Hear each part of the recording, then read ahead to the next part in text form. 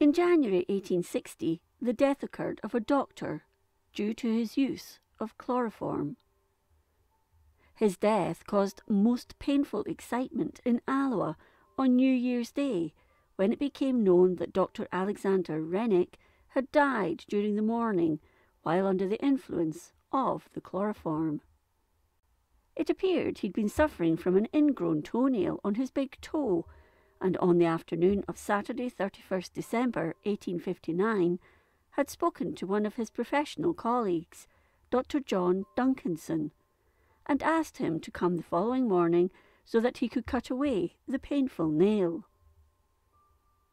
Being an operation that was going to cause a lot of pain, he informed Dr. Duncanson that it was his intention to take chloroform. As soon as he said this, Dr. Duncanson suggested that another medically trained man should be called in to assist, but Renwick said no. He explained his brother-in-law, who was coming to Alloa from Edinburgh to spend the new year with him, would be present, and assured Duncanson that he would do quite as well. Chloroform had only been in use since the 1830s, although it was in 1842 that it was discovered it had anaesthetic qualities, which could make surgery easier. It was not until 1847 that Edinburgh obstetrician James Young Simpson tried it on humans for the first time when he experimented on friends. One of them fell into a deep sleep overnight, and no adverse effects were noted when he regained consciousness the following morning. Simpson went on to use it in childbirth, with the baby daughter of Jane Carstairs being the first to be delivered in this way. Nonetheless, the quantities had to be calculated accurately, and Simpson was lucky not to have overdosed when he tried it out on himself. It was revolutionary, and he went on to be knighted in 1866 for his work in obstetrics. Renwick had been trained in its use, but his dose proved fatal. On the Sunday morning, New Year's Day, Dr. Duncanson arrived and found his friend in good spirits, but Renwick still insisted on taking the chloroform. Duncanson made no further objection, having administered it to him on a previous occasion without any adverse effects.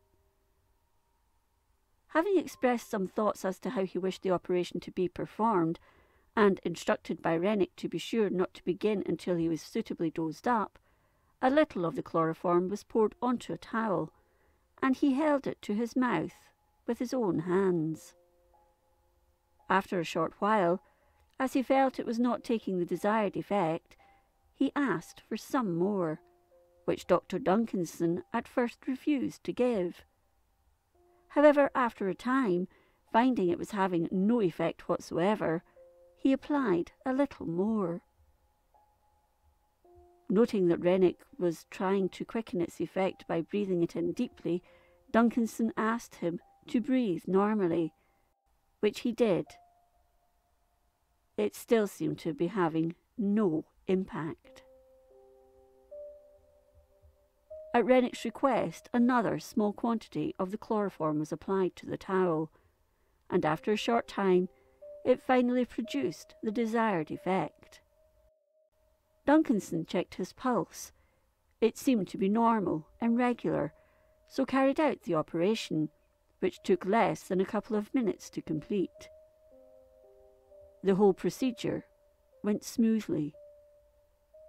Renwick remained under the influence of the anaesthetic, but his breathing was regular, and everything seemed to be as it should be.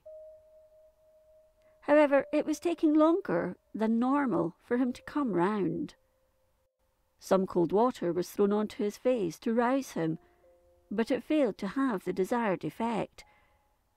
So Dr. Duncanson resorted to other measures.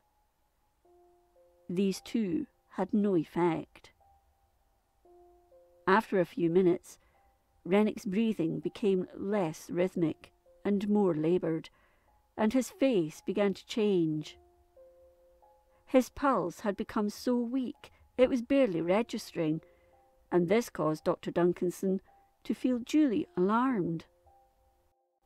Artificial respiration, a modern method of resuscitation at the time, was tried, and he administered this for nearly half an hour in the hope that his friend would come round. But it was to no avail. Dr. Renwick died shortly afterwards, aged 26. He had grown up in Musselburgh near Edinburgh and had come to Alloa around six years beforehand, where he practised.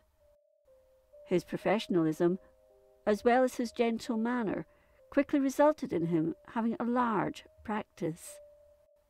He was held in high esteem by all who knew him.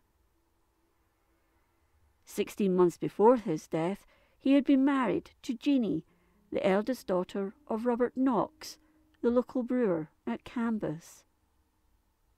The passing of Renwick, which was not only felt in Alloa but in the wider area, was referred to by all the ministers of the town during their afternoon services that New Year's Day. The Reverend Peter McDowell of Moncrieff United Free Church, where Renwick was a member, made his death the subject of some solemn but notable remarks on his kindness towards not only his patients, but to everyone he met. A while before his death, Renwick had been troubled with severe pain in his chest, which caused him some concern, as he thought his heart was failing, and it was known his father had died suddenly of heart disease.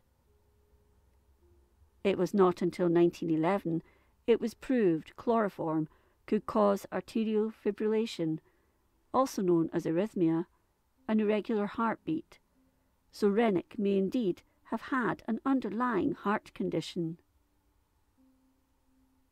Renwick was not the only physician to die from overdosing on chloroform.